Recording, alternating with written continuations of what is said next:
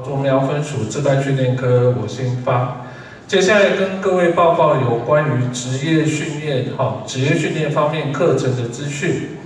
那现在跟各位所报告的就是明年度一百零九年度，我们目前已经规划了大概有一百二十期，一百二十期的班别。从一月开始，从一月开始就会开训二十三个班，我们会在一月开训二十三个班。那从十月一号开始，从十月一号开始，我们就会接受报名。但是，呃，怀孕的同仁，你们要等到你们拿到所谓的离职单，拿到离职单、非自愿离职证明以后，到就业中心去。呃，做这个所谓的职训的推荐，所以预估的时间大概是十一月或者十二月初。好，那各位不用担心，我们一月开班的班级，它的报名截止日大概都是压到十二月上旬左右，所以时间上各位应该有机会哦，有机会。如果您接下来的方向是想先从职业训练开始的话，那桃竹苗分署欢迎各位的加入，好好。第一个先跟各位报告，我们桃竹苗分署在哪里呢？第一个，呃，我们是在杨梅秀才路，杨梅秀才路就是各位华映的那个杨梅厂，杨梅厂，然后走到秀才路左转还蛮近的哈，离杨梅厂蛮近。我们这边有六个职群，六个职群。另外一个地方是在幼师，哈，一样是在杨梅幼师工业区里面，杨梅的幼师工业区里面，它是以机械跟资讯为主。好，接下来最重要的要跟各位说明的是，呃，劳动部办这个所谓的失业者的职业训练，一向所我们所采取都是免费参训，全程的免费参训，所以。呃，各位同仁来参加职业训练，报名不用钱，参训期间也都不用钱，是完全免费的哈，都是由政府编列预算来做执行的。你在课程中间所用到的师资啊、终点或者是材料，都是由政府编列预算来协助各位。再来。我相信各位都很清楚，有所谓的失业给付哈，我们上一个同仁已经有说过了哈，失业认定后的失业给付，政府另外有一个，你来参加职业训练的时候，为了保障各位的基本生活，也会有一个叫做职训生活津贴，职训生活津贴，那它的金额就是你离职前六个月平均的六成哈，各位可以算一下。你其实你领职训生活津贴跟领失业给付的金额是一样的，是一样的，而且这两个是不不相冲突，这两个不互相冲突。也就是说，假设举个例，你失业给付是符合领六个月的资格的人，那你在职训生活津贴也可以再领六个月，这两个是不会重叠计算的哦。再来。呃，我们的八大职群有哪几个职群呢？各位可以参考看看哈。那另外一个也跟先跟各位报告，我们现在现场两个同仁手拿着那个 QR code 的牌子，各位呃，这个影片比较你这样拍会比较模糊。我们手两个同仁有手指牌，我们有把这些简报课程资讯内容都放到云端了。你扫那个 code，你就可以直接去下载哦，你就可以下载，然后你可以慢慢的。去检视里面的课程内容。我们有哪八大职群呢？第一个是机械职群，哈，机械职群。呃，在今年四月份第一批华映之前的时候，我们那时候就做过调查。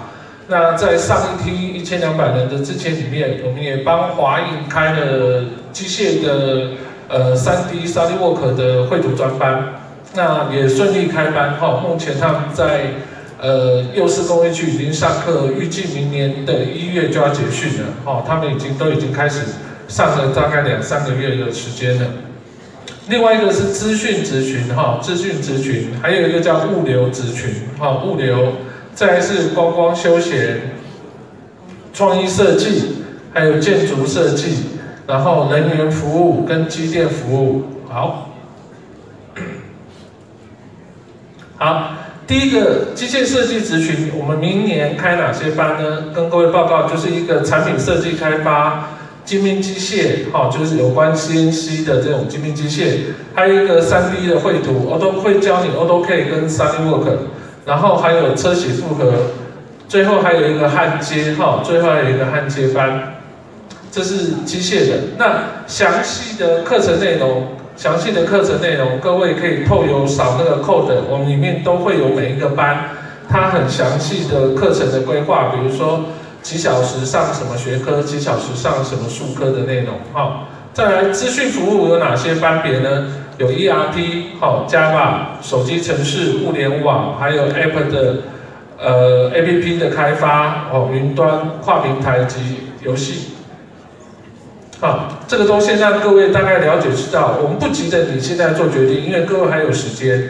你们到拿到所谓离职单，其实至少还有一个半月左右，还有一个半月左右的时间，哈，各位可以好好的去思考一下，您的下一步是想走哪一条路，然后你所需要的职业技能有哪些？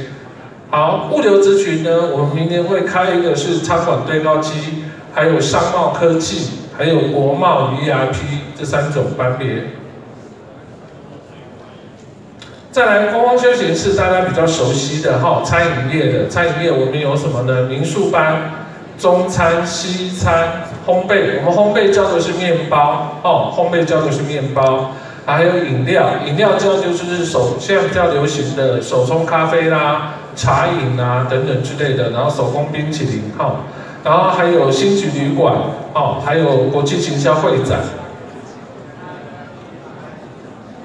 好。创意设计职群呢，有文创商品设计、多媒体特效、视觉。另外一个呢，是有关服装类的，有服装电脑打版、服样跟服饰创意。哈，那很多民众也都在问我，他们觉得很羡慕。各位，你现在比如说你从手机 YouTube 上去看到很多 YouTuber 都在炫富，好像当 YouTube 很容易哈。那很多民众都在问说，那当 YouTube 他要来学什么？哈，跟各位报告，就是从多媒。哦，还有四川这几个班都可以学到哦。好，再来建筑职群呢，明年我们会规划是室内设计、装潢木工、基础木工，还有一个叫漆艺设计。好，漆艺设计它不是刷油漆哦，它是属于比较偏艺术向的涂装哈，艺术向的涂装。好。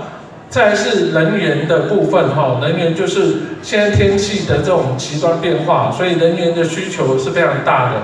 像有冷冻空调，好，我们冷冻空调两个两种班，一种是青少年专班，就十五到二十九岁中间，另外也有一个所谓中高龄，哦，很多同仁就在说，或者民众都在问说，啊，我年纪都大了怎么办？我们有针对四十五岁以上开立所谓的。空调气垫班，哈，针对四十五岁以上，在你们的能力范围内可以做的部分去教导。好，再来，如果很多呃民众他们对水电也蛮有兴趣的哈，水电，我们有智慧节能水电跟绿色科技水电，还有绿能节能哈，这些各位都可以做一个参考。好，再来是机电哈，如果现场各位你本身。呃，之前的工作内容就是厂务类的，你可能对机电会比较熟。像我们为华映上一梯开的专班里面就有机电班，也都已经开训了，大家学的也都不错。那呃，上课的时候我有过去看了一下，他们告诉我一个比较特别的是，原本是资讯室的人员，他整个重新转职转业，他在学机电哈，重新学，而且效果学习效果非常不错。那机电内我们有工业配线、工业机器人、可从事产业机电、智慧工厂、智慧机器人、哈电工配线等等之类的。好，那先跟各位报告一下上课的相关的一些资讯，就是说，呃，你来上课的话，我们都要经过甄试，因为我们毕竟训练岗位有限，为了公平起见，我们都有考试。那考试内容就是。五十题的笔试，二十五题智力测验，二十五题是基础专业科目，哈。那你的总分必须达六十分以上。那相关的题目，我们在我们劳动部劳动力发展署桃竹苗分署的官网里面有一个叫甄选试题专区，我们从一百零三年度开始，所有考过的题目跟答案都已经有做公告了哈，各位可以上去做一个参考。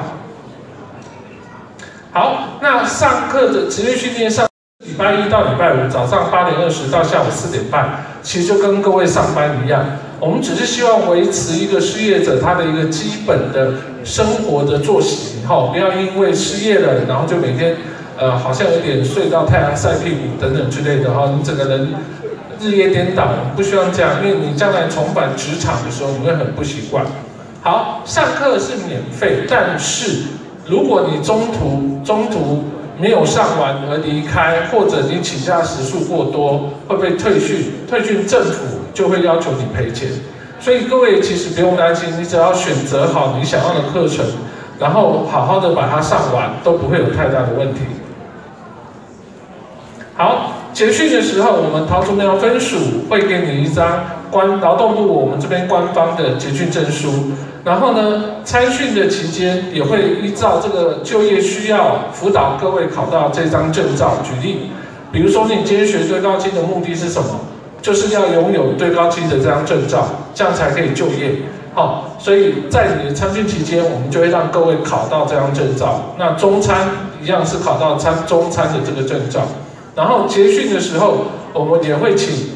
我们的厂商到班级里面来跟各位做就业的媒合，很多班级的学员还没有结训前，其他工作都已经找好，一结训隔天马上就去上班。那如果真的也没有挑到你喜欢的，我们后面也会跟就业中心做结合，请就业中心做媒合。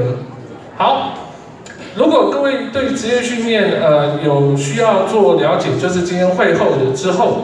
呃，你们可以，我们那边的电话是四八五五三六八，然后分机是一六二七一六二八，两位都是陈小姐，还有一六三九徐小姐。那我的分机是一六四零，好，我的分机是一六四零，各位都可以来这边做询问。